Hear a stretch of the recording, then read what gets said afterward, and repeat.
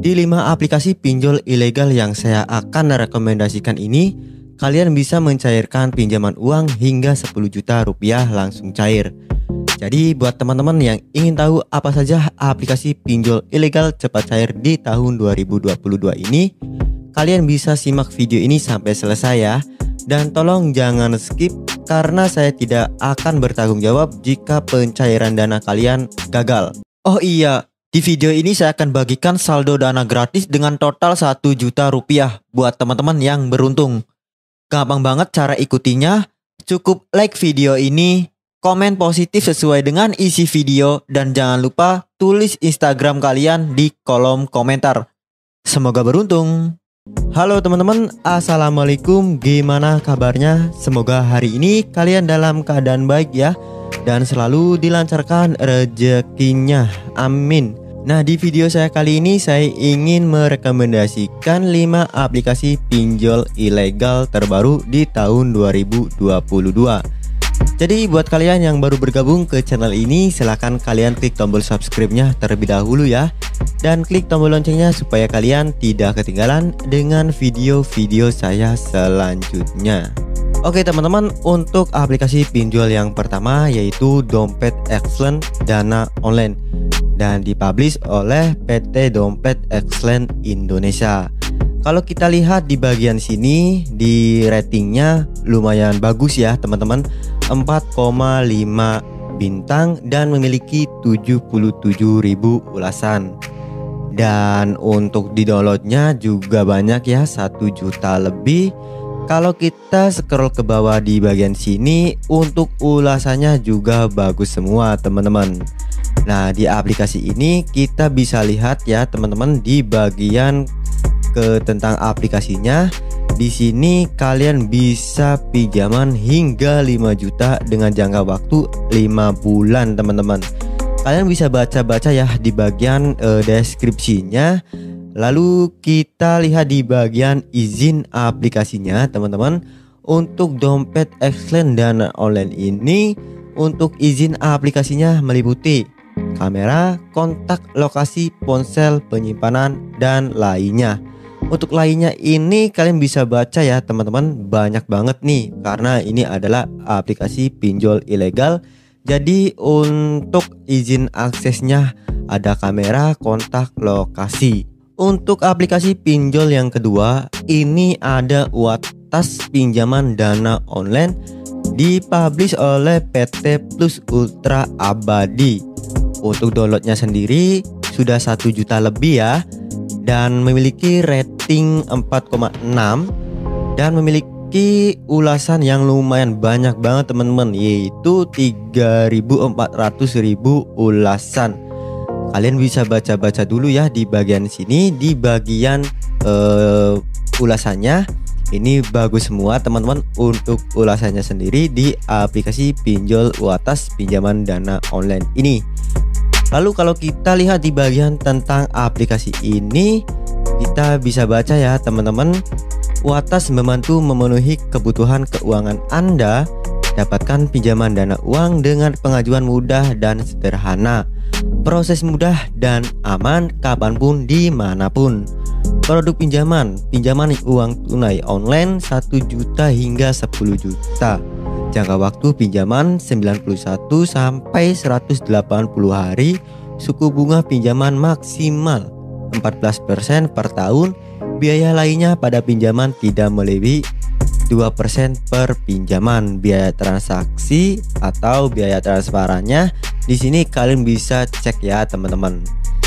Lalu di sini kalian bisa juga di bagian uh, izin aplikasinya ya teman-teman kalian bisa cek di bagian izin aplikasinya untuk aplikasi pinjol atas pinjaman dana online ini untuk izin aplikasinya cuma tiga saja seperti kamera, lokasi, dan lainnya.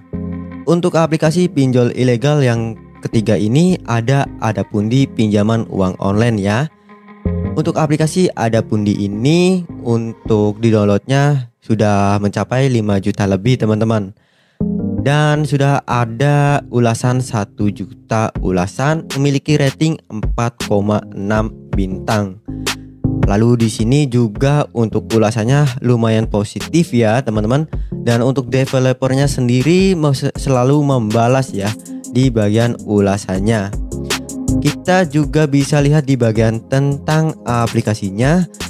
Ini adalah produk pinjaman online atau cicilan limit tinggi hingga 30 juta rupiah. Tenor pinjaman 91 hari sampai 30 360 hari. Bisa dicicil suku pinjaman maksimum APR ya teman-teman. Bisa kalian cek di bagian deskripsinya.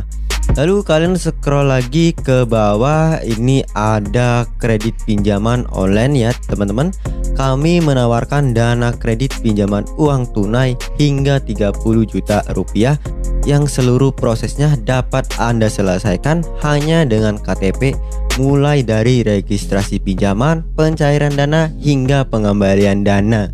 Di sini untuk izin aplikasinya meliputi seperti kamera, lokasi, mikrofon dan lainnya. Aplikasi pinjol yang berikutnya yaitu yang keempat, ini ada ringan pinjaman keamanan. Untuk aplikasi ini dipublish oleh PT Ringan Pinjaman Indonesia ya teman-teman. Lalu untuk di downloadnya sudah mencapai 500.000 download teman-teman. Dan memiliki 4,5 bintang Sudah ada 43.000 ulasan Kalau kita lihat di bagian iklannya di sini Pinjaman online 24 jam, pinjaman kapan pun, di mana pun, limit hingga 8 juta ya teman-teman Pinjaman online aman lindungi privasi Anda hanya memerlukan KTP, pinjaman cepat dan mudah terdaftar.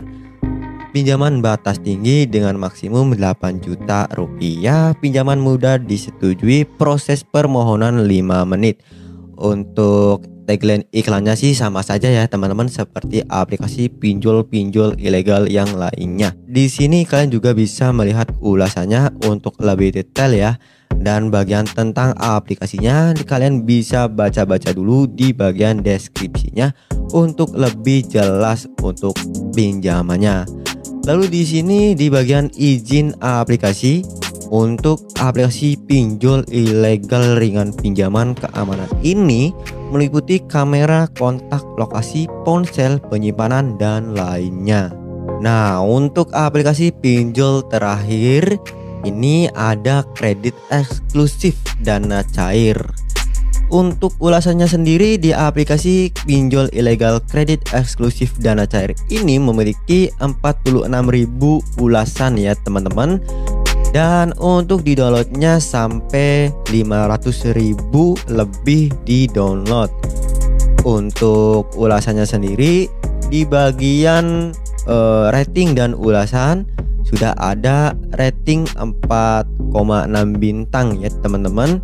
Dan di bagian sini juga kalau kita lihat sendiri untuk aplikasinya sudah di download dan sudah ada ulasan yang lumayan positif teman-teman Lalu kalau kalian mau lihat lebih lanjut tentang aplikasi kredit eksklusif dana cair ini Kalian jangan lupa baca-baca juga di bagian iklannya ya seperti pinjaman kredit kredit tanpa agunan hingga 8 juta rupiah. Sebelum kalian melakukan pinjol ilegal yang saya kasih rekomendasikan ini, kalian gunakan untuk HP-nya yang HP cadangan ya teman-teman. Jangan gunakan HP utama supaya data-data kalian tidak disebarluaskan. Dan lebih baik jangan melakukan pinjaman ilegal ya teman-teman ataupun pinjaman